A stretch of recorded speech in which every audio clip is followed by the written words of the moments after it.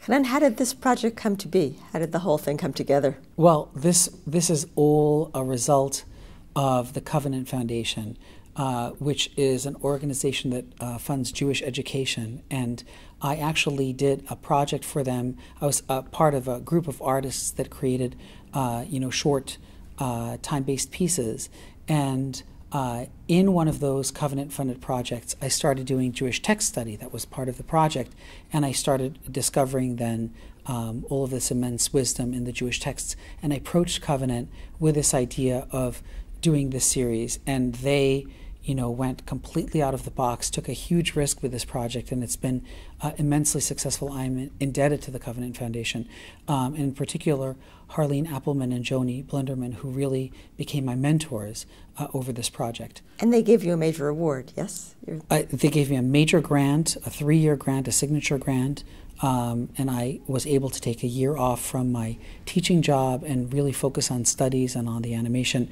Um, and then this exhibit uh, was curated by Laura Kruger and Jeannie Rosensaft, the director of this museum, and Laura Kruger uh, have always been immense supporters of my artwork. And when they saw this series of animations that I made uh, and the artwork associated with it, they immediately offered me a solo show. So I'm equally indebted to them. Um, and uh, of course, there's a, a wonderful catalog that's online as well. Hanan, sitting in front of these, um, you know, these pages look like pages of a graphic novel. It looks to me like they're all about conversation. And there's something just so Jewish about that idea of learning through people talking to each other. Um, yet every time I look at them, you know, you learn something a little bit more and you go deeper. Maybe talk about how the whole process of doing animation um, works in this context and how that how you really bring depth to it the learning process about these these teachings has always been a conversation between me and my teachers. You know, they would refer me to books, but then I would read something in the book and immediately be filled with all of these questions and then go back to the different teachers that I would be studying with and it would lead to these very very in-depth conversations. And once I felt like I had been able to, you know, understand the teachings as much as I could, I then decided that the best vehicle to convey the teachings would again be through a conversation. So in each of the animations and in the graphic novel, you know, pages, uh, it's a conversation between me and my father, or me and my father and mother. Now, were these the conversations that you actually had with your dad, or the kind of conversations you had with your dad? One of the episodes, the third episode on gratitude, that was almost word for word a conversation. But most of the most of the animations actually uh, feature uh, conversations that I invented. Um, so you know, I use uh, the mannerisms and the Israeli accents of my parents, um, and I use their just their their their way of speaking.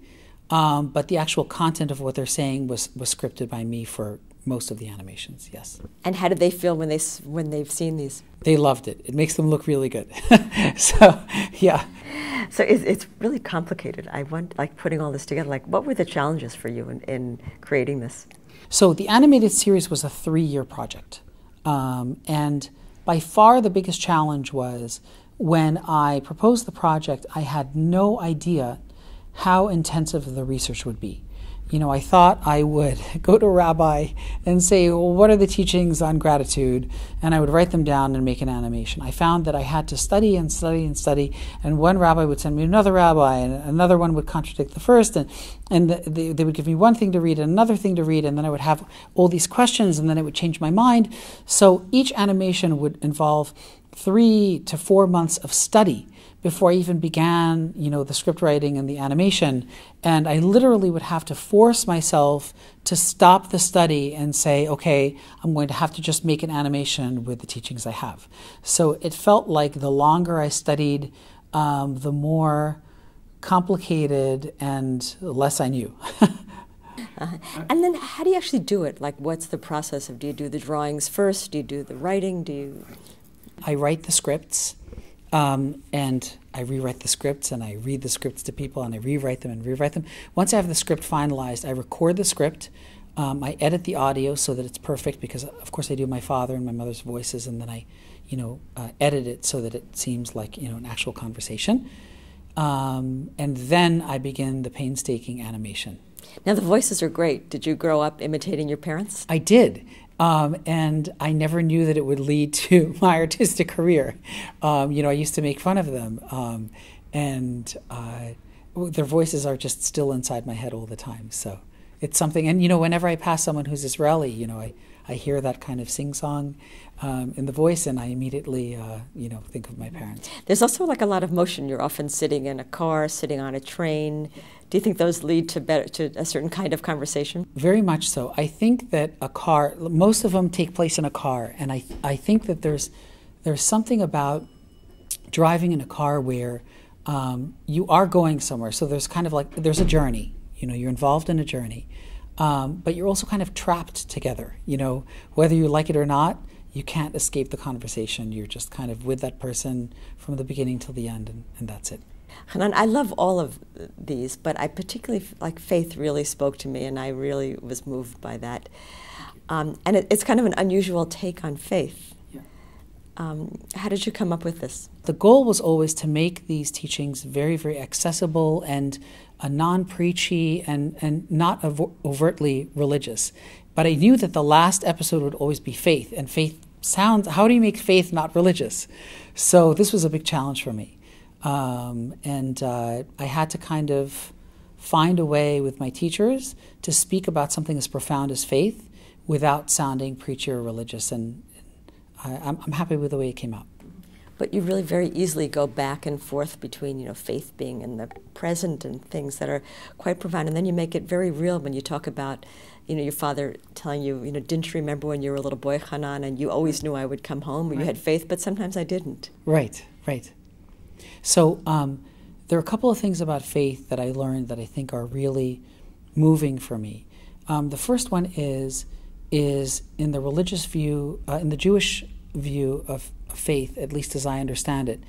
Um, it's not just about a trust or a hope or a belief, but it's also about action. You know, there's there's something about the actual moment where you're making a decision, where you're actually moving forward and doing something, and you do that with an act of faith. This this is um, it's this very intentional, conscious, connected, aware idea and and I think that that's there's something really lovely about it. It's not sitting back and saying, okay, everything's going to be taken care of. You're an active part of this, and you're basically saying, and sometimes that's going to mean that things are still going to go wrong. That's okay. It doesn't change that the fact that in the moment you you did it with an act of faith. And uh, just a really interesting anecdote. I was speaking recently to a rabbi who was telling me about the famous story of Nachshon, that when the Red Sea parted um, you know, that first someone had to step inside the water before the sea parted, so there's, there's, this action involved. Well, this rabbi was extending it and saying part of it is that, you know, sometimes we're going to jump in the water and realize the sea isn't going to part and we're going to have to swim back to shore. It doesn't change the fact that in that moment we're, we're, we're taking the action with, you know, a certain uh, decisive but yet filled with hope and trust and belief. So I, I see that as, as a very tangible um, and useful, pragmatic way approach to faith that can and be used. Where's God in this? Um, for me, God is there. God is inside of all of us. But I think once you start talking about God, it becomes a very individual approach. You know, everyone relates to God in a different way. And, you know, even if someone says, well, I base my belief of God on the Torah and the Talmud. There's so many takes in the Torah and the Talmud on God. So, um, you know, I think that once you step into that arena, it becomes very um, tricky. Um, and instead, I wanted to take the parts of faith that I felt were very um, utilitarian, very, very uh, pragmatic in our daily lives. And I don't think that my approach negates God at all. I think it's filled with, with God. I just don't, you know, specifically call it that. Can you give a sense of who some of these teachers were who you consulted? I mean, who the sources are? That- yes. So um, my my two main main teachers were Maoz and Tali Kahana. The Kahanas uh, are, are, in Israel. Um, Maoz and Tali Kahana really are the ones that showed me how much uh, love there is in Judaism and how much uh, it focuses on the potential of the human being. Um, as opposed to something that is, you know, shaming and judgmental. Um, but there were many, many other uh, teachers. Joe Septimus, a Talmudic scholar, William Bergson, a philosopher. You're, you're, mentioning all these wonderful live teachers, but I look back and it looks like you have teachers, you know, going back centuries. So who are some of the other sources that you consulted? Of course. So um, uh, Hillel, uh, a lot of Hillel, uh, a lot of Rambam, um, uh, a lot of Rav Kook. A huge influence, one of the biggest, were the writings of uh, Rabbi Nachman. Can you give an example of a? What Rabbi Nachman said, one of his famous lines is Life is a narrow bridge. The main thing is not to be afraid. And so the question is, how do you understand this line? And the way it was explained to me was uh, if you have to walk along this very narrow path, um, it's not difficult. You focus on just walking on this narrow path from getting from one point to the other. Um, but if you knew that on the left and the right of that path was, you know, a pit with alligators, suddenly you'd be very, very afraid, even though the path itself is the same path. So, meaning a lot of the times, you know, we we live our lives worried about all of these dangers and pitfalls, and we live our lives that way. When in actuality, if we just focus on the bridge, if we just focus, you know, on this pathway that we're on, um, and not focus on all of those fears, um, it's actually a healthier way. And ultimately, it doesn't. It, the reality is still the same. We still have the same pathway to walk on. So that's one of the teachings. What about the humor? I mean, your, your father is really funny. so I used to make very, very dark artwork. And, um, you know, uh, people were just very depressed looking at it. And I found that a lot of people don't want to go very deep and they don't want to go very dark. They just kind of like, you know, sitcoms and cartoons and they like that.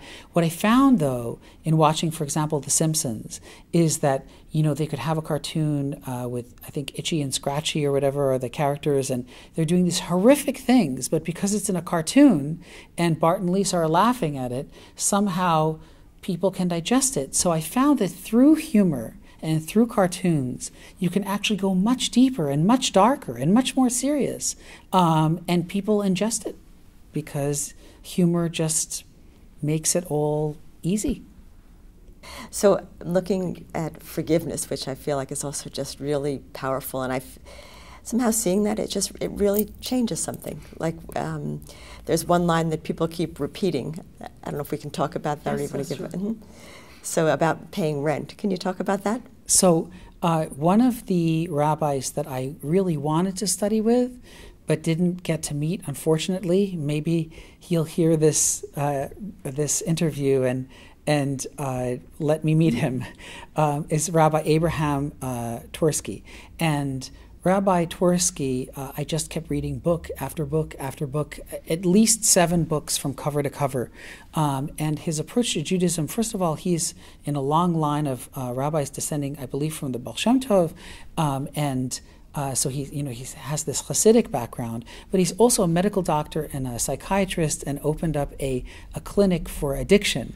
Um, so his approach in Judaism is very, very again pragmatic um, and very human. Uh, Judaism, anyway, is human, but this is just really, really gets to the heart. So he is the one who spoke about um, anger and these kind of three uh, stages of anger, um, and I'll just jump to the last stage, which is how long we hang on to anger, the resentment.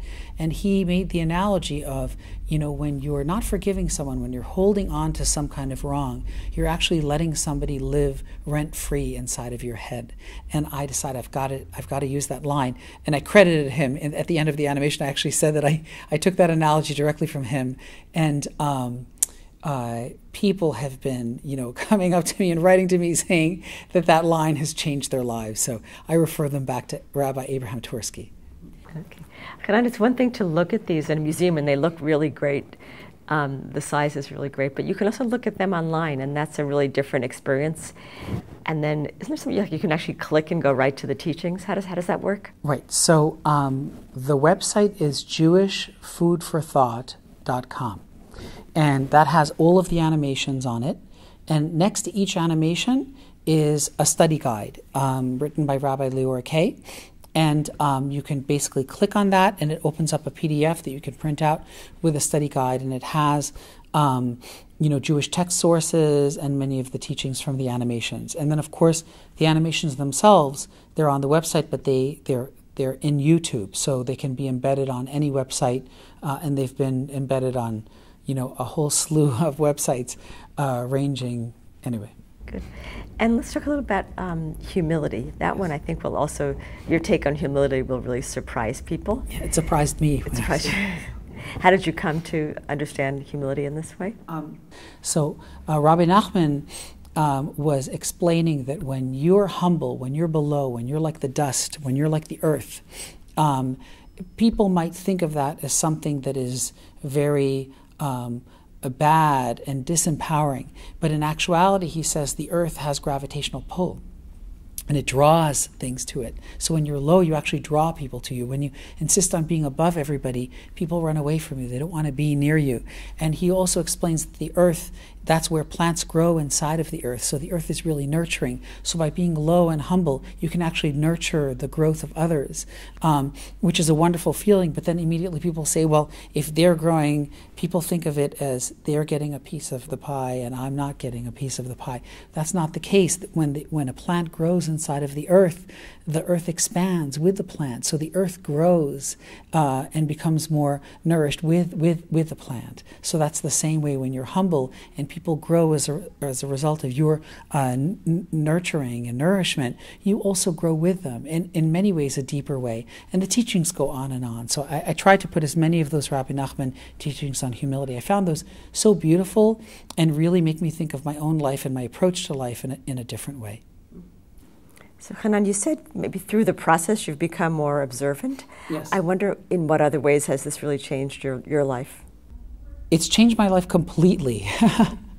I, I realized that every approach that I was taking toward succeeding or moving forward or, uh, you know, growing was was actually not only not effective but counter-effective. And through the Jewish teachings, I realized um, a new take on humility, a new take. For example, I'll give you an example, a really tangible example.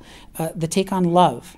Um, you know, when I would talk to my friends about love, somebody that they were dating or someone, it was always about this kind of calculation. You know what what what do they have to offer? You know what are their pros and their cons? People make a list of what they want in a relationship and does the person meet that list or not?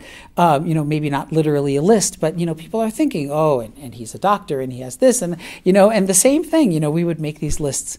So uh, in the jewish take on love it's not about receiving it's entirely about giving and it's not in giving in order to get something in exchange. It's literally just about giving. You're just giving for the sake of giving because you want to give. And this approach, associating it with love, that loving is giving, was beforehand alien to me. And, but once I started learning about it and made the animation about it, it made so much sense. And then I started seeing that the relationships in my life that really are the most lasting and the most meaningful and the most unconditional they always involve in there uh, uh, an aspect where I was giving for the sake of giving without expecting something in return. Um, and uh, even though it's, it's difficult to do these teachings and you have to consciously work on them, they actually work. So, um, uh, my approach of trying to take teachings that would be very pragmatic to one's life I've used them in my own life and they've changed my life 100%. And were you always so positive and energetic, or does that also come from these teachings? Oh, usually I'm much more hyper. I'm trying to stay still for the camera. Uh, but I've always been very energetic. Uh, I don't know if positive, you know, I'm, I, am usually a, a, big worrier, um, but always very energetic and, and hyper, and I try to use that to my advantage. Well, um, I would like to thank you so much for taking the time to interview me and for the beautiful article that you wrote in the Jewish Week. Um, you're a brilliant interviewer and a brilliant writer and just a wonderful person. So it's it's been such a privilege to spend time with you and get to know you. And thank you so much. Thank you, Hanan. I think you know, for me too. I think it really these pieces really change one's life, and I think that's true for viewers and people who are looking at it, you know, in all kinds of contexts. So you've really done a great service to all of us. So I thank you. Thank you very much. Thank you.